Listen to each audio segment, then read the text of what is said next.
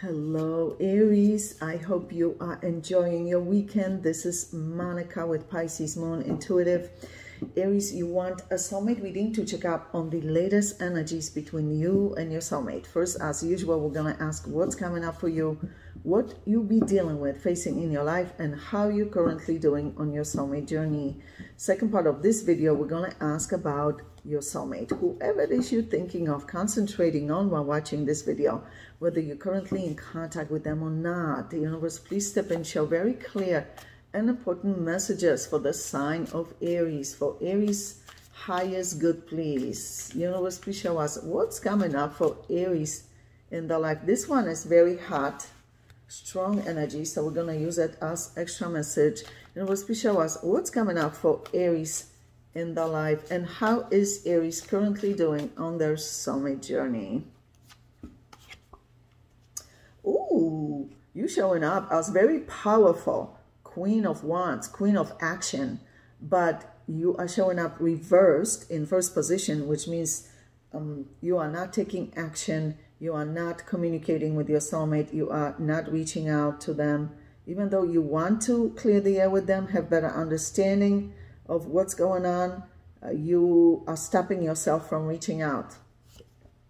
Yeah, silence is showing up. This is you trying to go within to use your great intuition, discernment to make wise decisions. You feel that is a wise decision right now, not to reach out to them, even though you want to. Yeah, you feel like you need to liberate yourself because this person is not meeting you halfway, not reciprocating in this relationship, not telling you where you stand in their life, not committing in a healthy way. Yeah, this is how you view them. Mm, mm, mm. Yeah. So, based on their behavior towards you, uh, you formed an opinion of them, right? This is how you view them based on the behavior towards you. Uh, just a page of swords, someone who's kind of hesitating, communicating, you see. But they holding two swords, which is unusual because almost all tarot decks have page of swords with one sword, either pointing down, mostly pointing up. But this one has two swords crossed, you see, which means they're trying to figure out, are you going to reach out to them or they do they need to reach out to that to you?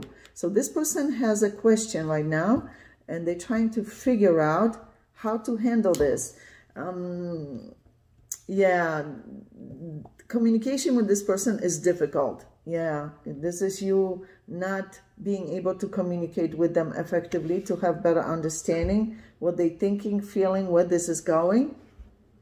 Yeah, you really are not chasing them. So you're stopping yourself from reaching out because the sword is pointing down.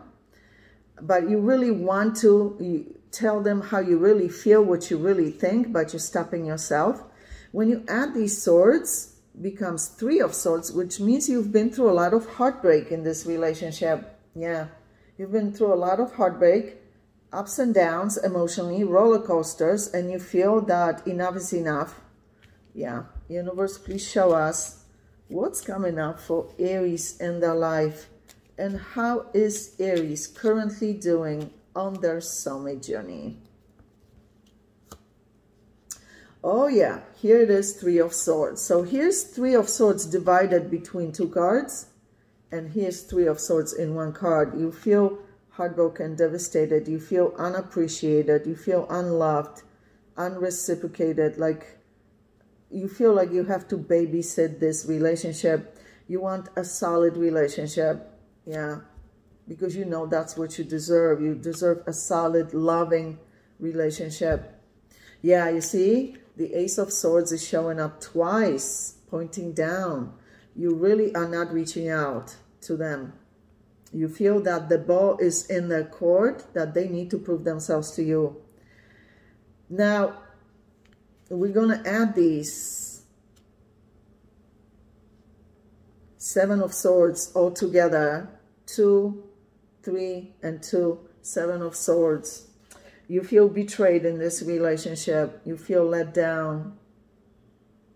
You feel like you were betrayed, like you were misinformed, like you wasted your time. Yeah, you want a solid relationship because you know you deserve a solid relationship. You see, monogamous, healthy, balanced relationship. Wow, justice.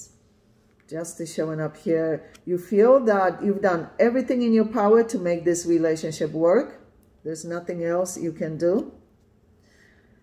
You also, it looks like this relationship set you back financially as well. Like you had financial losses because of this relationship. Mm-hmm. Hmm. You still love them though. You recognize that you still love this person, but you feel that you have to love them from a distance unless, of course, they prove themselves to you, are committal, are present, show you love, reciprocate, you are meeting new people, people of influence, influential people, social circles, um, mutual friends and acquaintances. Yeah, you see this? This is you uh, meeting new people who are influential, who are uh, capable of providing solid friendships, solid relationships.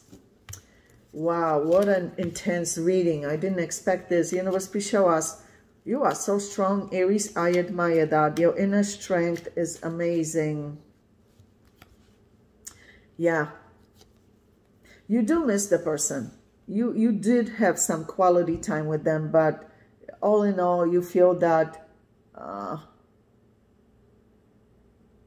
you had more confusion and heartbreak than solid days with this person in this relationship. Yeah, you feel overwhelmed with stress, responsibilities right now.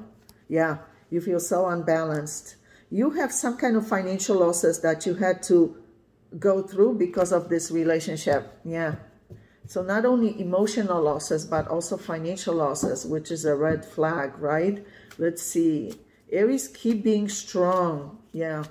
Universe, please show us what's going on currently with that soulmate of Aries, that Aries is letting go of at this time. And how is that soulmate of Aries towards Aries, especially emotionally at this time? Ooh, tower moment. They in shock that they losing you or lost you in some cases already. This is like a aha moment, a wake-up call, uh, shock. You see this? The tower moment. This is them kind of shocked that wait a minute, uh, I'm losing Aries.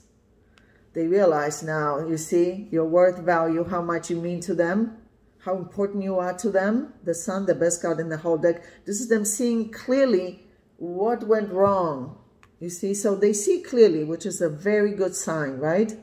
They see clearly what went wrong, why they losing you, why they lost you in some cases already, and they don't like it. You see all those swords you see this? They don't like losing you. You see this? This is them not communicating. They're so scared that this is it.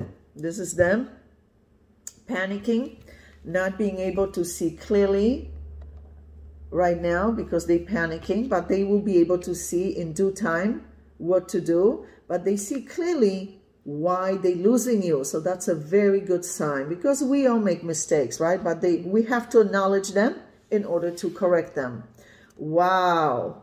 Two of Cups. This person is in love with you. They love you deeply, but unfortunately, it's in the subconscious position, which tells me they don't really express it, show it, verbalize it. Uh, yeah, it's like you have to guess whether they love you or not, you see? That love is deep, genuine, real, but not shown, not expressed properly. Wow. Universe, please show us what's going on currently with that soulmate of Aries. And how is that soulmate of Aries towards Aries at this time, especially emotionally? They know they're going to have to take action. Yeah, that they to have to uh, reach out. You see, they have uh, uh, a lot of pride. It's hard for them to show that they are emotionally vulnerable. You see how much pride they have made out of a stone from the neck down. Like they don't like to show they are emotionally vulnerable. They don't communicate with you effectively for some reason. Wow, they in love with you. Look at this. Look at this. This person needed to lose you to address their feelings finally. You see this? They're holding two cups, king of cups, love for you. They're trying to figure out if you still love them or not, if you miss them or not. Yeah, you see? They worried because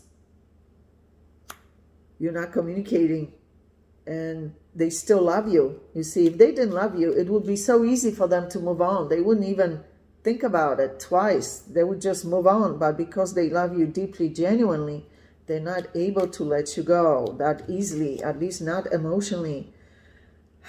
You've been very patient with this person. You've been extremely patient with this relationship. Well, all of a sudden now they want to rush back towards you with communication of great importance to them, but they're showing up as extremely guarded, emotionally, very guarded, Knight of Swords. Yeah. Page of Swords again. Um, this time with one sword. Uh, four birds around them. This person has a lot that they want to tell you that they were holding back, especially when it comes to emotions, feelings. They're checking up on you. yeah. They feel that you are correct in feeling the way you feel. Yeah, they don't blame you for letting this relationship go. Yeah, they understand. So that's a very good sign, right? The question is, what will they do about it? How to fix it, right? If it's fixable, right? I think it is, but, you know, it's going to depend on you. You have the upper hand in this relationship.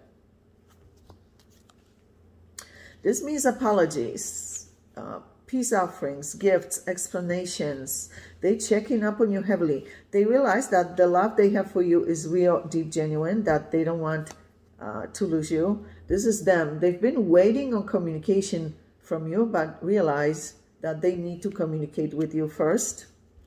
This was a serious relationship. It really was. Hierophant, traditionally speaking, talks of marriage uh, long-term commitment, but it could also mean living together situation, engagement, planning to be married, very serious relationship. Wow, Aries, we're going to go into your extended reading. Obviously, we're going to ask about this soulmate, but also new soulmates entering your life. First, however, we're going to ask about this soulmate's true, genuine, long-term intentions and plans for you, what they planning long-term. Then we're going to ask what they currently hiding from you, whether purposely, or can't communicate for whatever reason, but the universe feels you need to be aware of for your highest good. And of course, at the end, we're going to ask advice for you on how to best handle this soulmate connection at this time and anything else you need to know about your life, including new soulmate entering your life, new chapters, new beginnings in your life, also your health, finances, business, job opportunities, family members, friendships, whatever it is you need to know, they'll show it at the end of the reading as well. So Aries, click on the extended link below this video in the description box below and I'll see you there. Love you guys.